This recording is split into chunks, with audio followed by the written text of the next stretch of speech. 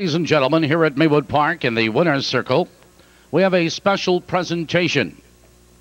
Racing Secretary Doc Narotsky is presenting driver Dave Magee with a beautiful jacket in recognition of Dave Magee becoming the driver champion of the world this year by beating all other drivers in the nation. Dave Magee, the leading driver in the country, congratulated by Racing Secretary Doc Narotsky and everyone from Maywood Park.